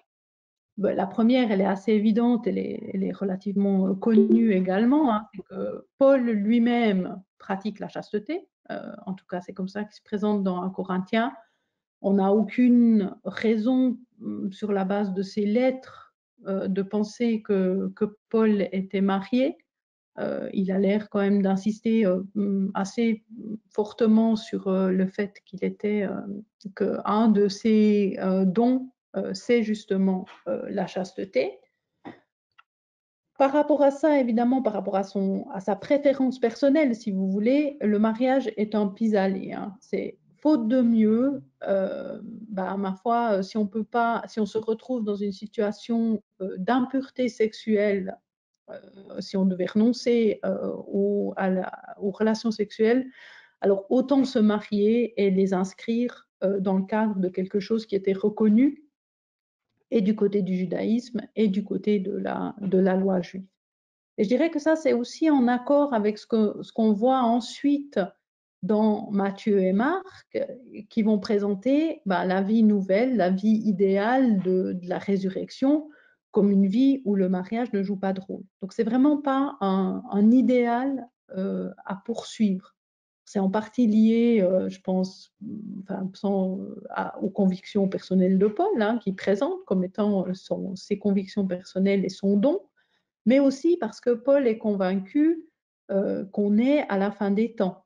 Et donc, euh, c'est en fait des questions qui deviennent pas importantes pour Paul, et que si on peut renoncer à, la sexualité et renoncer au mariage, bah, autant le faire. Mais si on n'en est pas capable, bah, tant pis, euh, ce n'est pas quelque chose qui va euh, porter préjudice à la personne. Euh, je vous ai aussi souligné la, référence justement à la parole du Seigneur, hein, donc cette idée qu'il y a un enseignement de Jésus, justement peut-être le, même enseignement de Jésus dont on a une trace dans l'évangile de Marc, qui condamne la, répudiation, hein, qui dit vaut mieux euh, rester euh, ensemble plutôt que de se séparer. On voit aussi, c'est un passage justement intéressant parce qu'il met en avant cette existence de couple mixte. On a beaucoup de situations dans le Nouveau Testament où on vous parle euh, d'une personne qui euh, se convertit ou qui reçoit euh, Jésus comme étant euh, le Messie et du coup elle se fait baptiser avec toute son toute sa toute sa maisonnée hein. et donc on a un petit peu on, peut avoir l'impression que dans le Nouveau Testament c'est un peu tout ou rien hein. soit il y a toute la maisonnée qui se fait baptiser ou bien soit il y a personne et là en Corinthiens 7 vous montre bah non il y avait vraiment des couples où il y avait des croyants un croyant qui pouvait être marié à une non-croyante ou, euh, ou l'inverse. Ça vous montre aussi, ça évoque aussi de nouveau en, filigrane une, une forme dans certaines probablement positions sociales d'autonomie des femmes. Ça veut dire que certaines femmes, euh, malgré le fait qu'elles étaient mariées à quelqu'un qui n'avait pas euh, adopté la foi des croyants en Christ, pouvaient, elles, s'impliquer dans cette nouvelle, euh, dans, cette nouvelle religion. Enfin, disons, on peut pas, vraiment parler de religion, mais dans cette, dans cette nouvelle croyance. Et, ça, je pense que c'est assez important parce que ça veut dire qu'il y a des femmes qui avaient assez d'indépendance euh, et d'autonomie pour pouvoir s'impliquer dans, un, dans une nouvelle communauté sans que nécessairement le, le mari partage en fait la, euh, la conviction euh, de, de, la femme. L'inverse est évidemment beaucoup plus commun hein, dans l'Antiquité. Euh, ce n'était pas très important ce que la femme croyait. et, alors le dernier point par rapport à ce texte, c'est justement le fait que la chasteté n'est pas, pas perçue de la même manière dans l'Antiquité pour un homme ou pour une femme. Donc le genre, euh, le, fait d'être un homme ou une femme va avoir un impact sur la manière dont on comprend ces, injonctions. Si on est euh, une femme, le fait de pouvoir, euh, disons, échapper à la sexualité, ça peut être quelque chose de positif qui peut renforcer aussi l'autonomie de la personne, ne pas être en situation d'avoir des enfants, euh, réapproprier un certain contrôle euh, sur son corps aussi, par exemple. Euh, ça fonctionnait très différemment pour une femme ou pour un homme. Et je dirais même, au-delà en fait de la, différence entre femme et homme, si vous voulez, dans l'Antiquité, il faut vraiment réfléchir plutôt une distinction entre celui qui est l'homme libre et l'homme libre, alors il a évidemment euh, les organes génitaux euh, du mâle, mais il est surtout libre et il a le contrôle de son corps. Euh, il peut pas être, on ne peut pas utiliser son corps contre son gré. Et en regard, si vous voulez, de, de cette catégorie de l'homme libre, qui est à proprement parler dans l'Antiquité le mâle, en regard de ça, il y a tout le reste, euh, qui sont euh, des, personnes qui n'ont pas euh, d'autonomie, qui n'ont pas de contrôle sur leur corps, qui n'ont pas de, liberté. Et dans cette, dans cette catégorie de tout le reste, vous avez autant des hommes que des femmes. C'est pour ça que dans l'Antiquité, on ne peut pas simplement, si vous voulez, rendre égal le, le, genre et le sexe. On peut avoir des organes génitaux mâles et être considéré comme pas un homme. Par exemple, un esclave qui, a pas de, qui serait un esclave euh, avec des organes génitaux mâles, mais qui n'a pas de liberté, parce qu'il n'est pas en contrôle de son corps, parce que son maître peut utiliser son corps comme il le souhaite, n'est pas considéré comme étant un homme euh, n'accède pas, si vous voulez, euh, au pôle euh, de la masculinité. De la même manière, une femme qui serait par ses, par, ses, organes génitaux caractérisée comme femme, mais qui a accès à un certain degré d'autonomie, soit parce qu'elle a de l'argent, euh, soit par sa position sociale euh, dans l'Antiquité romaine, en particulier par exemple une matrone euh, romaine hein, qui serait mariée à un, citoyen romain qui a des enfants, elle va se rapprocher du pôle de la masculinité. Donc on a, il faut vraiment réfléchir le, le genre dans l'Antiquité comme se promenant, si vous voulez, sur un curseur qui va de non mâle à mâle. Et le, but, évidemment, c'est de se rapprocher euh, du, du, pôle mâle, qu'on soit euh, biologiquement une femme ou un homme. Et donc, selon où on est placé, si vous voulez, sur ce pôle de la masculinité, une injonction à la chasteté ne fonctionne pas de la même manière. Quand on n'a pas de contrôle sur son corps, quand le corps est à la merci du maître ou de l'homme, c'est clair que pouvoir dire euh, eh oh, euh, moi je pratique la chasteté parce que c'est ça que mon maître Jésus me demande, si, si l'homme est aussi un chrétien, bah, ça peut avoir des effets bénéfiques. Tandis que pour un, homme libre en contrôle de son corps, si on lui demande de renoncer à un droit, bah, évidemment, euh, la, chasteté est, perçue d'une manière différente. Donc, je pense que c'est important de voir la complexité de cette question euh, de savoir euh, si on peut ou non avoir des relations sexuelles. C'est pas une en fait pour Paul en tout cas, c'est pas une question si vous voulez de morale uniquement. C'est aussi une question de morale, hein. bien sûr, on le voit pour dire qu'il faut contrôler ses passions, mais c'est aussi une question de pouvoir.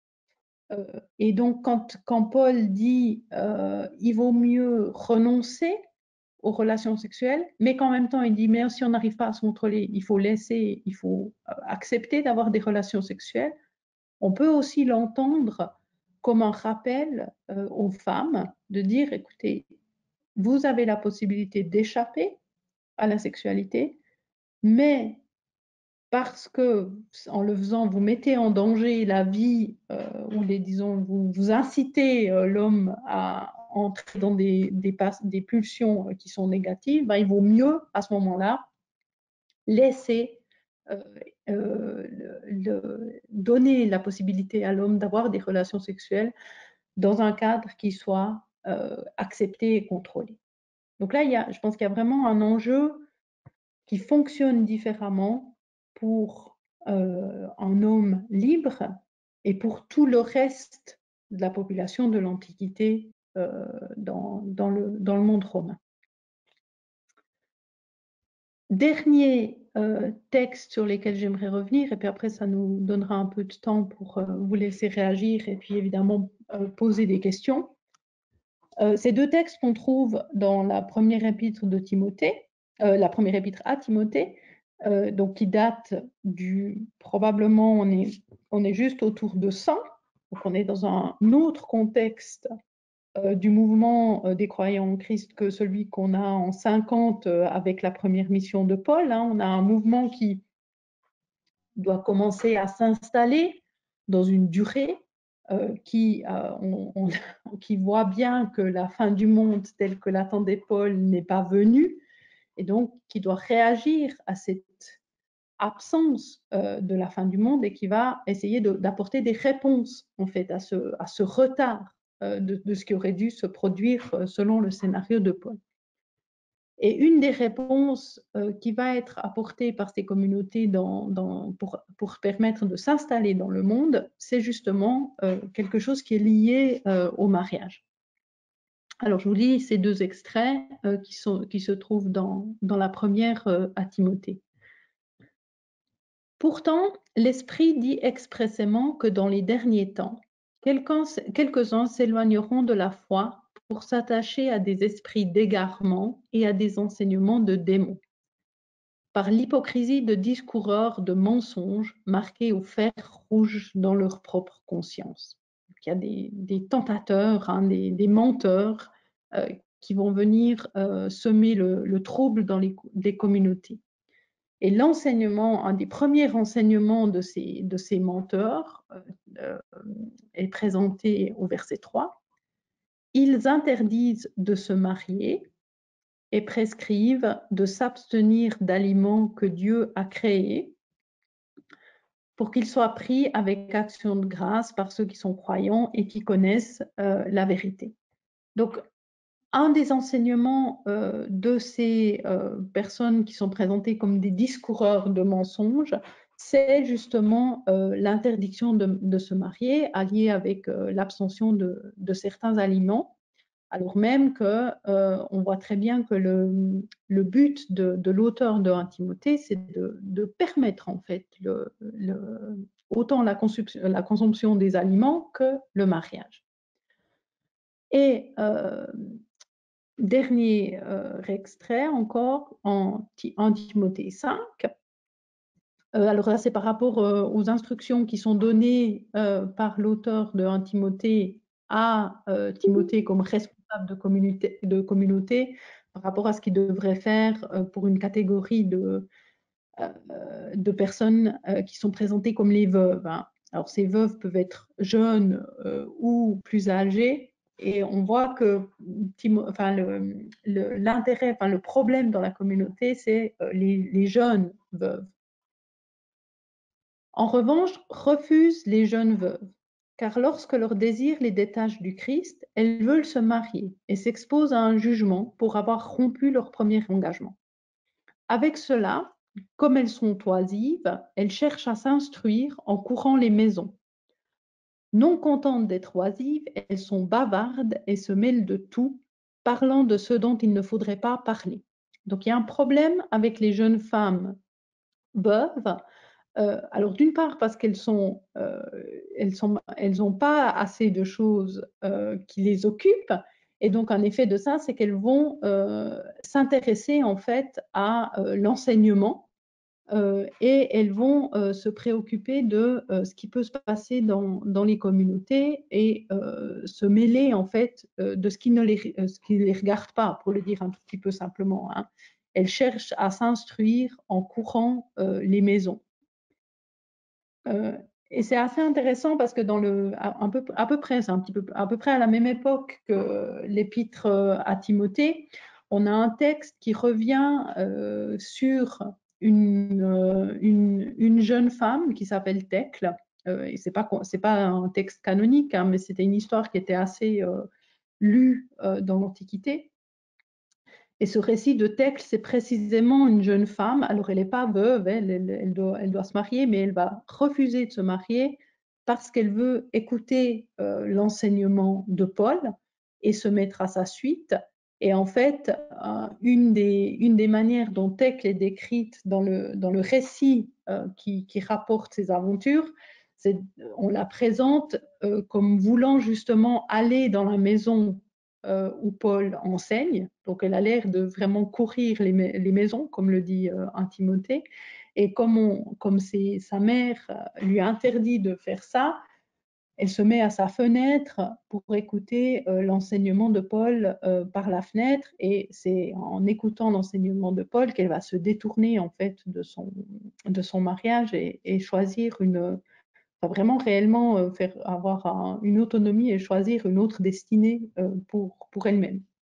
Donc on voit bien qu'il y a, y a un contexte, si vous voulez, du premier siècle où probablement il devait y avoir ce problème pour les communautés de femmes euh, jeunes, soit qui avaient été mariées, qui avaient perdu leur mari, ou qui refusaient de se marier parce qu'elles euh, trouvait dans la, dans la vie qui, lui qui leur était proposée dans les communautés de, croyants en Christ quelque chose qui était euh, plus intéressant en fait que euh, bah, ce, qui ce qui aurait pu les attendre dans un mariage. Donc en même temps, il dit refuse les jeunes veuves parce qu'elles veulent se marier, elles n'ont pas assez de constance dans leur dévouement au Christ, et en même temps, un petit peu plus loin, il dit je souhaite donc que les jeunes veuves se marient, qu'elles aient des enfants, qu'elles soient de bonnes maîtresses de maison, de façon à ne donner à l'adversaire aucune occasion de médire, car déjà quelques-unes ont dévié pour suivre le Satan. Donc la, destinée qui devrait euh, être plus satisfaisante, hein, si vous voulez, pour euh, les, jeunes femmes, c'est justement euh, de s'inscrire dans un schéma qui euh, et devient le schéma traditionnel euh, dans, la, dans la société romaine. Hein. C'est Auguste qui va beaucoup encourager ça, qui va encourager le fait de se marier, d'avoir des enfants, de prendre soin de la maison. Et on voit aussi que le souci est pas seulement, si vous voulez, interne à la communauté. Hein, donc, il ne faudrait pas qu'on ait des, jeunes femmes qui prennent trop d'importance dans la communauté, mais que le souci est aussi externe par rapport à ce qu'on peut dire des communautés, hein, de façon à ne donner à l'adversaire aucune occasion de médire. Donc il ne faudrait pas que le contexte culturel plus large dans lequel les communautés se mettent en place ait des excuses pour critiquer euh, les mouvements de croyants en Christ en disant euh, vous avez des femmes, des jeunes femmes qui font n'importe quoi, euh, qui enseignent, qui sont pas mariées, qui s'occupent pas de leur maison. c'est un mauvais exemple. Donc là, on, va, voit une tentative de s'accommoder, si vous voulez, au contexte culturel, de s'intégrer au contexte culturel, de faire partie du modèle culturel romain. Donc le, mariage est encouragé, ça permet euh, de contrôler les jeunes femmes euh, et de contrôler leur place dans la communauté. Et du coup, le, mariage devient aussi euh, quelque chose qui est beaucoup plus en fait lié à une moralisation. Hein. il faut que, que, le mariage soit aussi compris dans un contexte convenable, correct je dirais qu'on a une expression très claire de ça en hébreu, euh, euh, hébreu 13.4, hein, que le mariage soit honoré de tous et le lit conjugal exempt de souillure, Dieu jugera ceux qui se livrent à l'inconduite sexuelle et à l'adultère. Donc là, on est en, route, si vous voulez, surtout à travers un Timothée, vers un mouvement qui va permettre euh, de sacraliser le mariage. Et en même temps, euh, le contrôle offert à travers le mariage va permettre aussi de discipliner euh, les communautés. C'est-à-dire qu'on va créer des communautés qui sont qui s'inscrivent dans le paysage euh, culturel romain et qui placent chaque personne à la bonne, à la bonne place. Donc une moralisation du mariage entre l'époque de Paul, je dirais, et celle des, pastorales, qui contribue euh, au contrôle des communautés et qui permet aussi d'inscrire ces communautés euh, dans le contexte euh, patriarcal de l'Empire romain. Donc du coup, en effet, si vous voulez, corrélatif de ça, hein, c'est que la place des femmes va commencer à se réduire de plus en plus dans les communautés à travers le mariage et va être articulée alors à la célébrissime ou tristement célèbre euh, exhortation euh, à, la, procréation dans, dans 1 Timothée 2, hein, où la femme euh, obtient son salut à travers la maternité. Que la femme s'instruise en silence avec une entière soumission.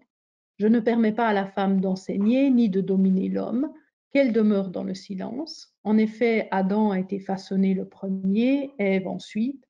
Et ce n'est pas Adam qui a été trompé, c'est la femme qui, trompée, s'est rendue coupable de transgression. Elle sera néanmoins sauvée en devenant mère si elle demeure dans la foi, l'amour et la consécration avec pondération. Si on veut le dire de manière un petit peu caricaturale, euh, il me semble qu'on passe d'un contexte où la femme avait la possibilité d'enseigner, de prophétiser, de travailler comme apôtre, à une euh, situation où la euh, caractéristique de la femme qui est disciple de Jésus est la pondération, qui doit être exemplifiée dans son statut de mère. Et c'est vraiment le mariage qui va permettre de remplir ce rôle euh, d'instrument de contrôle et de discipline. Hein. On, va, on, va, réduire en fait la, part de la femme dans la communauté. Euh, j'arrive en fait au bout de ce que je voulais vous dire vraiment sur le, côté euh, interaction entre hommes et femmes dans le mariage. Euh, je me permets encore juste un petit excursus du côté de l'Apocalypse, parce que c'est un texte que, j'aime beaucoup et qui mentionne aussi un mariage important. Je vous ai dit, il n'y a pas de couple mythique hein, dans le Nouveau Testament, mais il y a un mariage assez important qui est mentionné dans le livre de l'Apocalypse c'est évidemment le mariage de l'agneau. Euh, ici, en Apocalypse 19, 7 à 9. Réjouissons-nous, soyons transportés d'allégresse et donnons-lui gloire, car les noces de l'agneau sont venues et son épouse s'est préparée. Il lui a été donné d'être vêtu de fin lin resplendissant et pur. Le fin lin, c'est la justice des saints. Il me dit, euh, c'est l'ange hein, qui transmet les visions, écrit Heureux ceux qui sont invités au dîner des noces de l'agneau. Puis il me dit Ce sont là les vraies paroles de Dieu.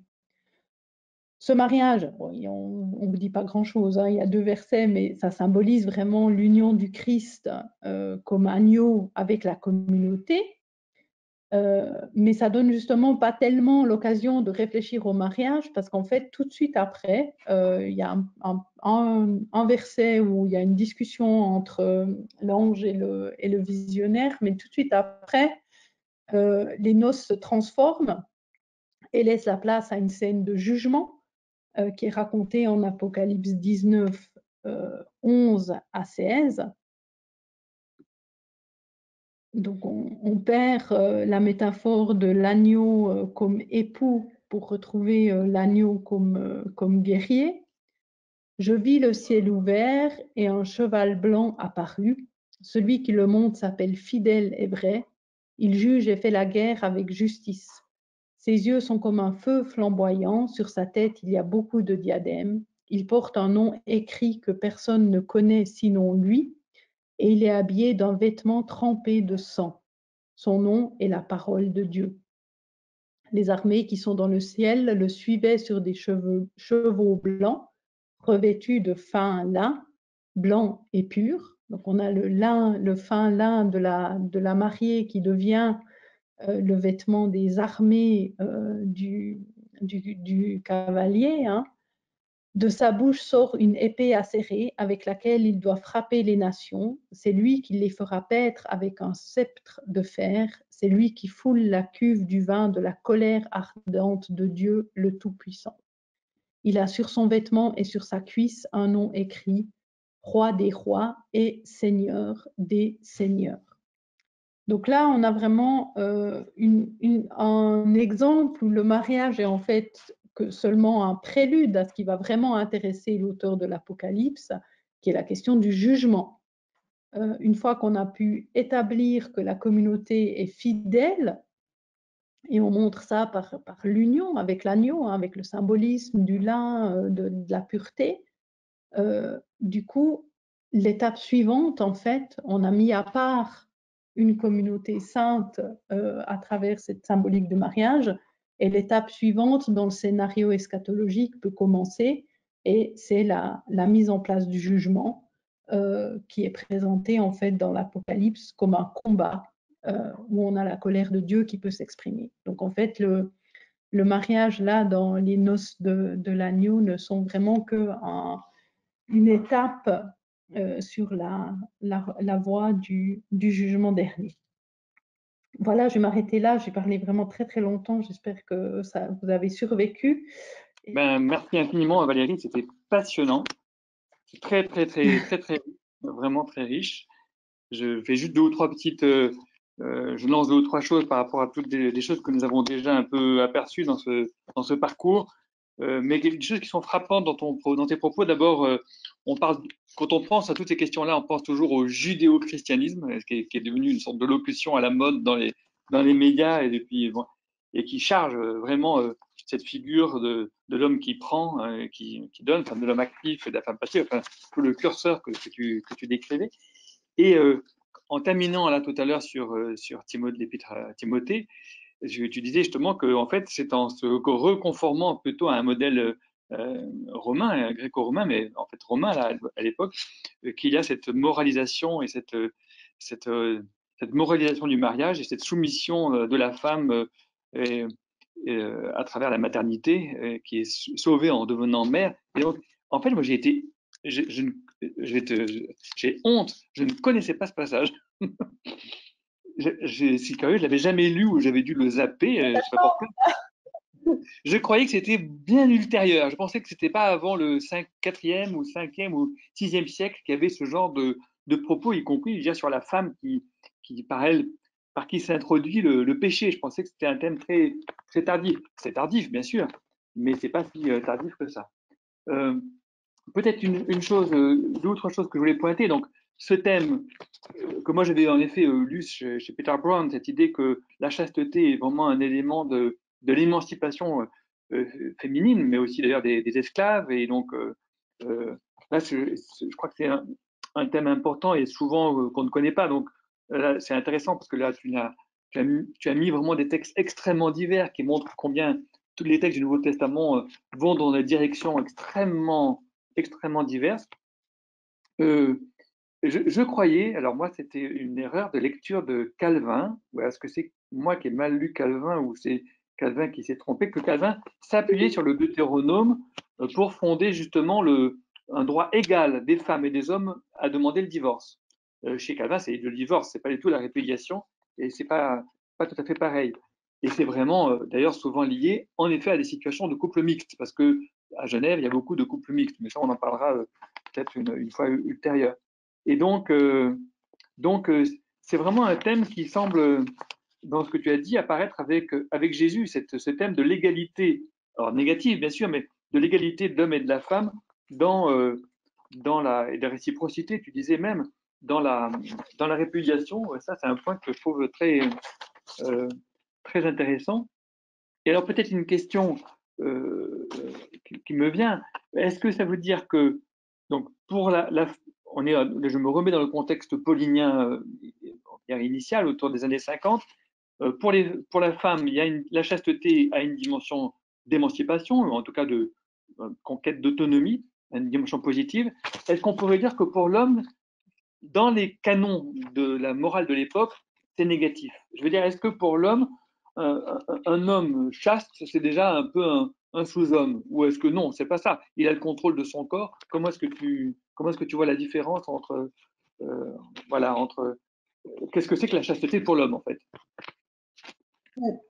Euh, Je réagis avant de, de, revenir à cette question qui me paraît effectivement importante. Euh, je pense le divorce euh, dans le Deutéronome, s'il y a une, réciprocité, honnêtement, moi, vraiment, là, je ne connais pas assez. Donc, je, n'aimerais sûrement pas accuser Calvin d'avoir euh, mal compris l'Ancien Testament avant d'avoir bien étudié la question. dans, le, dans, le, passage qui est, qui, est, cité en Matthieu, la, enfin, Matthieu Marc, la réciprocité n'y est pas. Je pense pas que ça soit une innovation de, Jésus. Hein. ça s'inscrit vraiment dans le contexte euh, gréco-romain de, l'époque. Donc, euh, euh, mais par rapport à l'Ancien Testament, il faudrait, revenir là-dessus de, manière plus, approfondie. De la, même manière, je, nuance un tout petit peu la question de, la, chasteté pour les femmes comme facteur d'émancipation. Euh, moi, je suis pas du tout euh, dans l'optique en fait de, voir. Je pense que c'est c'est pas juste de, voir ça comme un espèce de proto-féminisme. C'est euh, des espaces de résistance, je pense, effectivement. Et là, je, reviens à, la manière dont, Foucault vraiment réfléchit à ces questions-là. Il y a un potentiel de, résistance mais c'est clair qu'on reste quand même dans un système qui est contrôlé en fait par, euh, par des hommes. Donc ça veut dire euh, émancipation, oui, mais en perdant euh, tout le côté, enfin en renonçant à son corps en fait, et en renonçant à, une incarnation. Donc c'est quand même aussi au prix, enfin c'est un peu le problème pour, pour simplifier. Le choix après qui est donné aux femmes, c'est soit on est euh, Ève, la femme corrompue perdue, ou euh, soit on est la sainte, en fait, qui, euh, qui renonce à son corps, au plaisir physique, et il n'y a, y a, pas, a pas d'entre-deux. Donc il y, a, aussi, je pense qu'il faut faire attention de pas autant, enfin je pense qu'il faut faire attention de ne pas idéaliser cette question et en même temps je pense effectivement que pour les femmes, et ça, euh, on le voit aussi ensuite dans le succès des, euh, communautés monastiques hein, pour les femmes, ça pouvait être euh, un facteur de, libération. Mais ça s'inscrit, enfin, je veux dire, c'est un espace de résistance quand même assez minime, quoi. je pense que la question de l'homme chaste, je trouve que c'est vraiment une question intéressante parce que, alors, elle touche du coup là au, aux, conventions autour de la, sexualité dans, l'Antiquité pour l'homme. Et euh, bah, vous le savez sûrement, mais l'homme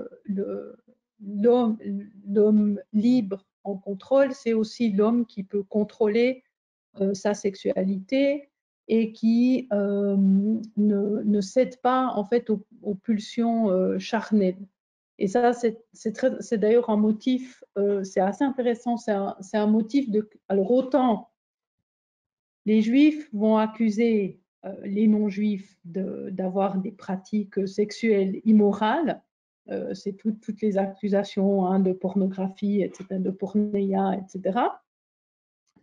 Mais de la même manière, les Romains vont aussi critiquer euh, les juifs et en particulier euh, leur critique va se concentrer sur la circoncision euh, en disant que le, fait de circoncire le pénis masculin est une incitation à la débauche parce que, je, je, suis désolée, ces discussions impliquent d'être un peu crues, mais parce que quand on enlève le prépuce, on expose de manière constante le gland et du coup, on, est beaucoup plus en fait en tant qu'homme euh, sujet euh, au plaisir.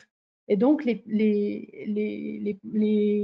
euh, non-juifs, les, romains, les grecs vont critiquer énormément la pratique de la circoncision chez les juifs en disant que c'est une pratique de, débauche et de sensualité et que, les juifs ne, contrôlent pas leur pulsion.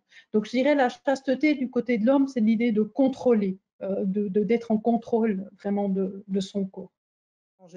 J'avais une question pour, sur la, lecture de, du passage dans les évangiles sur euh, euh, les paroles de, de Jésus. Est-ce qu'on va pas un peu vite euh, en besogne quand on assimile la, la parole qui consiste à dire l'homme ne séparera pas ce que Dieu a uni, l'interprétation qui en est faite là, pas, l'original, mais de Genèse, mais ce qui est, vraiment dans ce texte-là, connaissant l'ironie qu'il peut y avoir dans le texte habituellement, est-ce qu'on va pas un peu vite en besogne en disant que la séparation, c'est forcément la mort? Est-ce que, est-ce que on peut pas avoir une lecture qui dirait plutôt que là, Jésus parle de la répudiation en termes, en de contrat officiel et de ce que et de, de, papier, et que lui resitue ça sur un plan euh, beaucoup plus relationnel entre, entre les êtres, euh, indépendamment de, de, la loi écrite. Euh, vous pouvez juste clarifier ce que vous entendez par que, que c'est automatiquement la mort? Bah, vous, vous l'avez dit tout à l'heure, c'est-à-dire qu'a priori, on ne pouvait pas, on pouvait pas séparer, on ne pouvait pas qu'il condamnait la, en tout cas, c'est vrai que ça peut être euh, lu comme ça dans Marc et dans Matthieu, qui condamnait la, séparation, la, répudiation en tant que telle. Euh, il me semble, euh, et, je pense que, enfin, il me semble qu'il condamne la, répudiation. Alors, il faut pas, enfin, je veux dire, c'est diversé, hein, même pas dans l'évangile de Marc, donc c'est, je pense que c'est narrativement, ça fonctionne plutôt euh, pour expliquer la maîtrise de, Jésus dans la discussion euh, par rapport à ses, adversaires.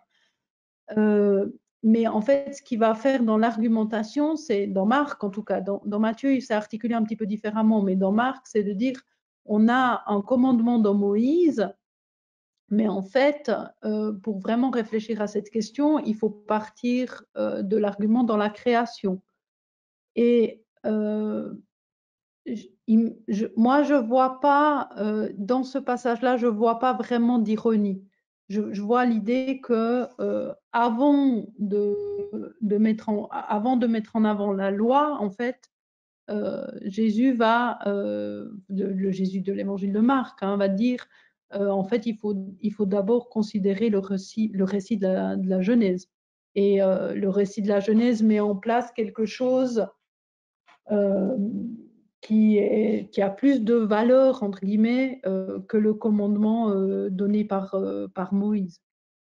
Donc on a une, mais on, mais on s'inscrit tout à fait dans une argumentation juive de l'époque, hein, d'utiliser une tradition pour répondre à une autre. oui, mais ce que je veux dire, c'est est-ce qu'il ne va pas au-delà en disant il y a la possibilité que Dieu sépare, mais il n'explicite pas il n'explicite pas comment Dieu éventuellement sépare. La seule chose, c'est que pour répondre à ses, opposants, il met ça sur un plan qui n'est pas le plan juridique de la loi, mais sur un plan euh, qui est un autre plan, qui est le, plan de, Dieu. Mmh, ouais, moi je, moi vois pas trop là l'idée que Dieu puisse séparer. Enfin, je dirais évidemment, euh, Dieu peut, peut tout faire, mais je ne vois pas que ça soit invoqué dans, dans ce passage-là. Euh, je, prends peut-être, je ne sais pas si tout le monde a vu, il y a une question de Valérie euh, Duval-Poujol dans le, dans le chat, et puis je suis très contente qu'elle la pose parce que je n'ai pas pu parler de ça. et je me disais, oh, sûrement il y a quelqu'un qui va me demander euh, quelque chose. Donc les couples en fait qui sont mentionnés dans le, dans le Nouveau Testament, euh, bah, j'ai commencé effectivement, tu n'étais pas là tout au début, en disant qu'il n'y avait pas vraiment de couple, couple mythique euh, dans le Nouveau Testament de la même manière qu'il y a des couples mythiques euh, dans l'Ancien Testament. il y a par contre effectivement un phénomène assez important, enfin en tout cas qu'on peut reconstruire dans la manière dont, le, dont les premières euh, communautés euh, s'intéressaient à l'évangélisation, Euh, et on a effectivement ce couple Priscille et Aquila, et puis probablement potentiellement aussi le couple Junia et Andronicus en, romain. Et une des hypothèses de la recherche, c'était en fait de dire que les, oui, celui-là, Jane dit le, couple qui pourrait éventuellement être identifié avec le couple des, disciples d'Emmaüs à la fin de l'évangile de Luc, euh, Junia et, Andronicus. Et du coup, on avait une enfin, il semblerait, les, chercheurs cherchent à reconstruire une stratégie euh, missionnaire qui, euh, qui, aurait été justement d'avoir des, couples qui partaient en mission ensemble et avec l'avantage en fait que les femmes apôtres pouvaient accéder à des espaces auxquels les, hommes n'auraient pas eu euh, accès, donc les espaces euh, privés en fait des, femmes euh, dans, dans, les maisonnées, et aussi avec éventuellement la question de savoir comment est-ce que se produisaient les baptêmes des femmes. On a, des exemples alors de, Paul hein, qui, baptise, qui baptise des femmes, mais est-ce qu'il y avait peut-être aussi des instructions ou des contextes spécifiques euh, qui aurait euh, permis le, baptême et, l'instruction des femmes? Donc je pense qu'il y a effectivement un rôle important, mais qui est aussi, euh, disons, qui disparaît un petit peu dans, dans, le tout début des communautés sur le, fait que c'était, il y avait des couples d'apôtres clairement qui, œuvraient dans la, dans la mission. Ça, je pense c'est assez important, effectivement, comme dimension. Mais de nouveau, on n'est pas du tout, enfin, on nous dit juste qu'ils existaient, quoi. On nous dit pas euh, euh, comment, enfin, on n'a pas de réflexion sur, le couple en tant que tel. On a juste cette idée que le, le couple peut permettre d'accéder à des espaces euh, plus larges que si c'était un homme seul euh, ou une femme seule qui travaille. Hmm. Oui, mais quand tu distingues euh, la conversion de la maisonnée entière et la conversion de la personne qui, en quelque sorte, se, prend le risque de, de se délier de, ses, de, ses, de sa maisonnée, là, vraiment, c'est deux, deux genres différents. C'est passionnant, je trouve, comme, comme, comme polarité. Euh, enfin, l'histoire de, pour ça, je trouve l'histoire de Tecle est vraiment fascinante. Parce que Tecle, c'est vraiment euh, que, cette histoire soit inventée ou, réelle, hein, mais ça rapporte vraiment l'histoire d'une femme qui transforme en fait euh, son appartenance sociale, culturelle, économique euh, en se mettant à la suite euh, de Paul et qui alors va du coup en plus être, c'est le cas de beaucoup de récits de, martyrs hein, de cette époque-là, mais va être explicitement euh, masculinisée. Quand elle, quand elle quand elle termine son parcours, qu'elle s'est, auto-baptisée et qu'elle, retourne vers Paul pour lui dire, voilà, j'ai fait tout ça, et qu'il il reconnaît sa valeur en tant, qu'apôtre, à ce moment-là, euh, on dit, ben, elle revêt le, manteau euh, de l'homme euh, qui est réservé à l'homme et elle part en, en mission. Elle va elle, toute seule. Là, pour le coup, on ne la présente pas en couple, elle. Enfin, du texte, qu'est-ce qu'elle refuse? Le mariage, hein, vraiment, c'est c'est une de ses motivations. mais elle part vraiment toute seule, comme apôtre. Et on le voit aussi dans les, dans les récits de martyrs. Les, martyrs sont souvent présentés comme étant, comme adoptant en fait des traits euh, masculins, ce qui va aussi dans le sens de cette ligne en fait qui, du pôle de la masculinité.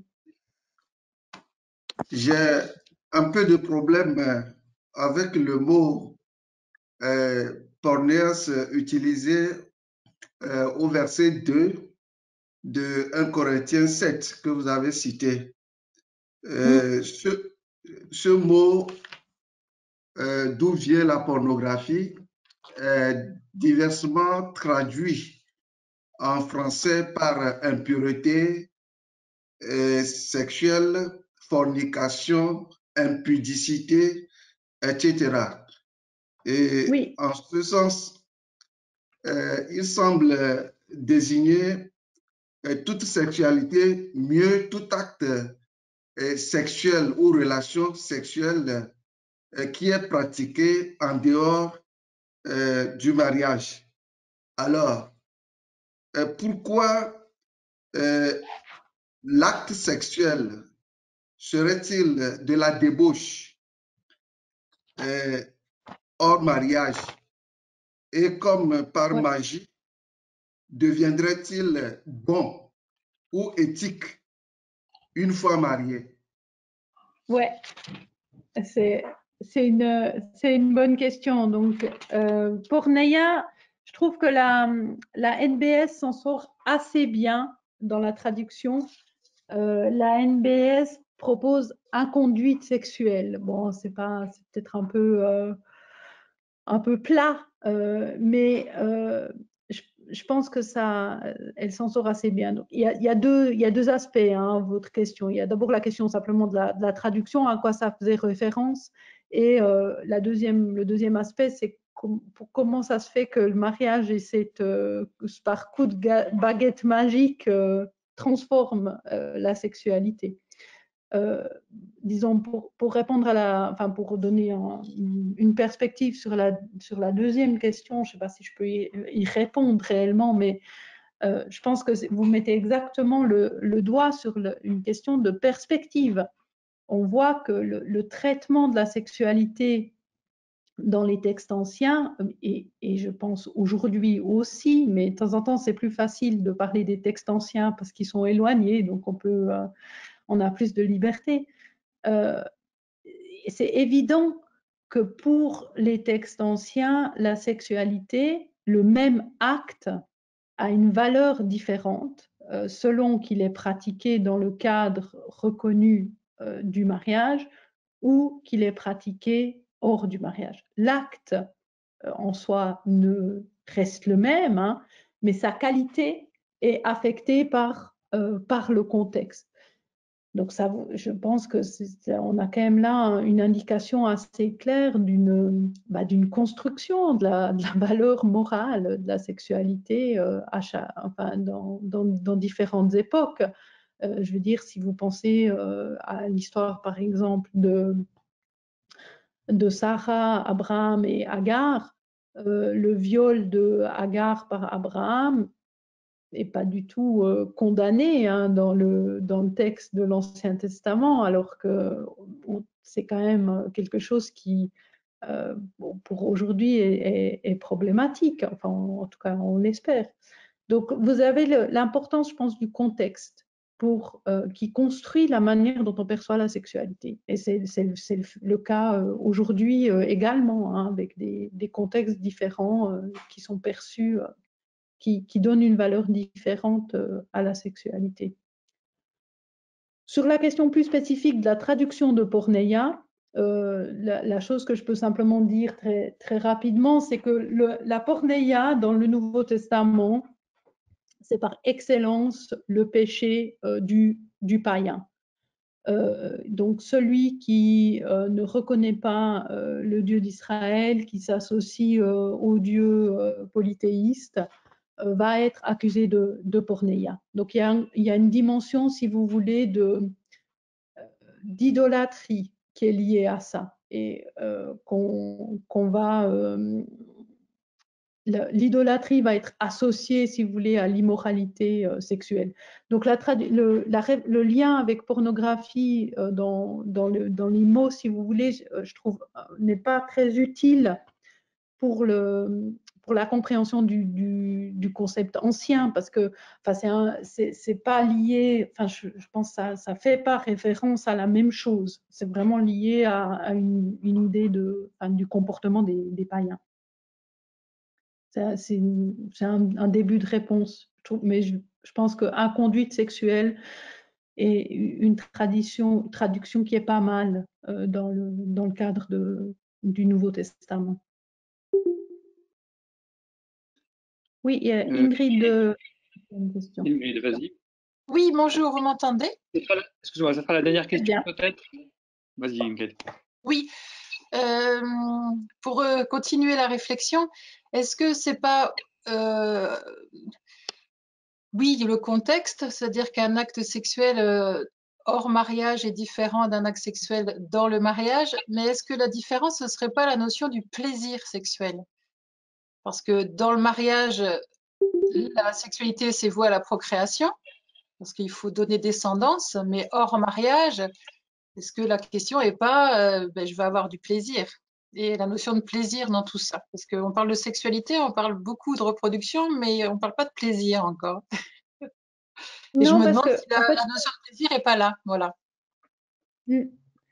Euh, mais je pense en fait que pour, le, pour les textes du Nouveau Testament, euh, la question du, du plaisir est pas, on n'en parle pas en fait.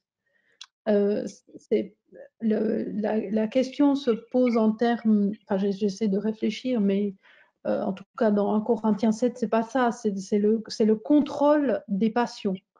Euh, et l'association, si vous voulez, le, la distinction qu'on fait aujourd'hui entre sexuel, enfin déjà, euh, bah, il y a simplement l'intervention de, la contraception, hein, alors qui déjà, enfin c'est de beaucoup plus ancien, mais c'est clair que la, que la contraception est quelque chose de plus facile, d'accès aujourd'hui, permet de mettre en place cette distinction entre sexualité pour la procréation et sexualité pour le plaisir d'une manière beaucoup plus euh, marquée euh, aujourd'hui. Euh, dans l'Antiquité, selon dans quelle position on se trouvait, la question du plaisir n'existe même pas pour, pour une esclave ou pour une, une femme qui est simplement bah, l'objet euh, de son maître ou de son mari. Peut, cette catégorie ne, fait pas sens. Donc, pour le Nouveau Testament, on ne parle, pas de plaisir. Que le, but soit la procréation, oui, euh, mais en fait, la question du plaisir est très très, très peu évoquée. C'est la question du contrôle euh, des passions. Il ne faut, pas, il faut, pas être, il faut pas se retrouver dans une position où on est hors de contrôle. Mais ce n'est pas tellement lié au plaisir. Euh, on ne parle pas du plaisir euh, masculin alors, pas du tout. Enfin, j'entends que vous évoquez le plaisir féminin, mais ça, on est d'accord que c'est tellement contemporain et que c'est lié à la, contraception. Mais sur le principe de une sexualité hors mariage est interdite parce que c'est une inconduite, est-ce que c'est pas un endroit où on, ben oui, il fallait contrôler sa passion et il fallait ne pas, voilà, il fallait c'était le plaisir qui, motivait ces élans. Et, mais par contre, c'était c'était légalisé dans le contexte du mariage c'était pour voir un peu si, de manière sous-jacente, c'était pas quand même une notion euh, non avouée, mais présente dans les textes. Voilà. Je ne sais pas, c'est un peu plus présent. Je pense, ben, vous avez discuté du, Cantique des Cantiques la dernière fois, où là, on a une, un, côté très euh, sensuel et très charnel. Je ne le, vois pas tellement euh, dans les textes du Nouveau Testament. Par contre, si vous voulez, c'était aussi, il faut aussi bien se rendre compte que, euh, alors, dans la société, euh, dans, la société, enfin, je, le vois un petit peu dans la condamnation peut-être de, des pratiques euh, homosexuelles du Nouveau Testament. oui, parce, parce qu'ils ne permettent pas la procréation, mais peut-être aussi parce qu'ils mettent en place un, un, système de relations où éventuellement euh, le, le fait de, retrouver son vis-à-vis euh, est, quelque chose aussi qui, qui pose problème. Mais ça serait quelque chose à explorer un petit peu plus. Je le vois pas tellement. Moi, je, je, pense que cette question du contrôle est tellement présente que le, la notion de plaisir, je la, Mmh, mmh, ok. Et en même temps, vous l'évoquiez tout à l'heure avec l'histoire de la circoncision. Euh, ce qui était, oui. ce que j'ai compris, c'est ce qui est reproché aux Juifs, c'est que par la circoncision, en fait, il y a plus de plaisir.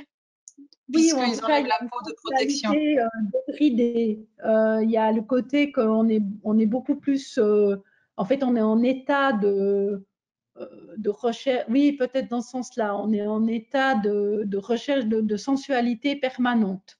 C'est ça. Et c'est pas. Oui, peut-être un petit peu de ce côté-là. Il faudrait, il faudrait voir. C'est quelque chose un peu à, à, explorer un peu plus, je pense. Si vous explorez, je suis preneuse des infos. D'accord. C'est gentil, merci. en tant que sexologue, hein, c'est pour ça que je, je, me permets de creuser les, le, le, point de vue. merci. Je comprends. Merci à vous. Ben, merci infiniment euh, Valérie pour, euh, pour tout cela. C'était euh, vraiment extrêmement, extrêmement riche pour nous tous. Merci à toi Valérie et merci à tous d'avoir été là.